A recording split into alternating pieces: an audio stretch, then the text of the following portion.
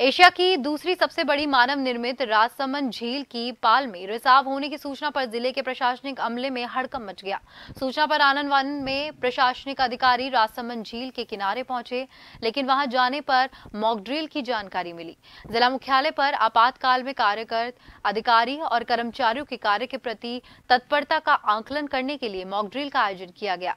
Police control room से सभी विभागीय अधिकारियों, कार्मिकों और आपातकाल में कार्यरत अधिकारियों और कार्मिकों को सूचना दी गई और इरिगेशन पाल स्थित राजसमंद झील की पाल टूट गई है और वहाँ से पानी का रिसाव हो रहा है। सूचना के बाद तत्काल दर्जनों प्रशासनिक और पुलिस अधिकारी, फायर सिविल डिफेंस के स्वयं सेवक सहित कर्मचारी अपने अपने साधन और संसाधन लेकर सूचना स्थान पर पहुँचे, जहाँ पर मॉकड्रिल की सूचना समझने के बाद राहत की सांस ली गई।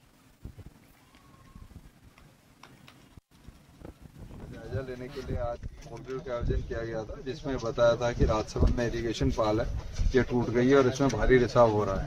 और इसमें सभी विभागों को कंट्रोल रूम से अलग अलग टीमें बना करके फ़ोन किया गया। और सभी विभागों का, लगभग सभी विभाग समय पर पहुँचे। रिस्पॉन्स टाइम सभी विभागों का ठीक रहा।